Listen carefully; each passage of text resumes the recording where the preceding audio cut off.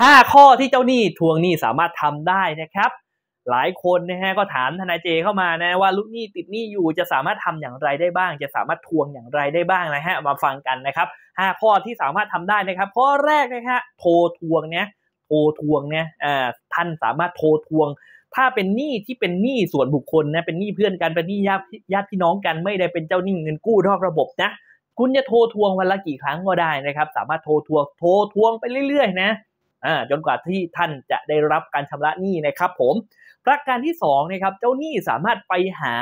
ลูกหนี้ที่บ้านได้นะครับ อันนี้ไม่มีกฎหมายห้ามนะ แต่ว่าท่านอย่าไปบุกรุกบ้านเขานะ ถ้าเขาไม่ได้เชิญเข้าบ้านนะครับ อยู่ๆจะดุยๆเข้าไปในบ้านไม่ได้นะ ไปหาเนี่ยนะฮะต้องให้เขาเชิญเข้าบ้านก่อนนะ ถ้า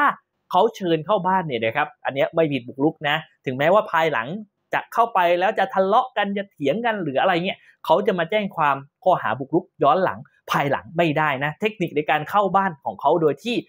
ไม่ผิดข้อหาบุกรุกนะก็คือ พูดกับทางเจ้าของบ้านว่าขอเข้าไปคุยหน่อยได้ไหมนะ ถ้าขาอนุญาตเนี่ยอันนี้ไม่ผิดบุกรุกนะครับผม ประการที่3นะประการต่อมาเนี่ยสามารถติดตามสอบถามกับทางคนใกล้ตัวได้พ่อแม่ลูกเมียนะสามารถติดตามสอบถามได้ในกรณีที่ลูกหนี้ของท่านนะครับ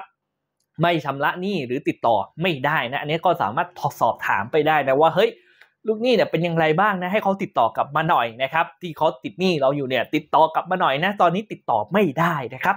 ประการที่4นะครับสามารถมอบหมายให้กับทางทนายนะส่งโนติสหรือหนังสือบอกกล่าวทวงถามได้นะ ถ้าหากว่าท่านโทรทวงไปหาที่บ้านทวงเองทุกอย่าง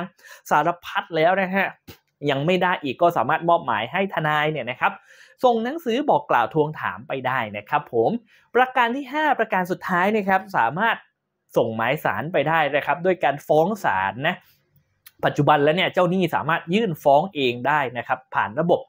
ออนไลน์ของทางศาลนะครับหรือจะให้ทางทนายยื่นฟ้องให้ก็ได้นะครับ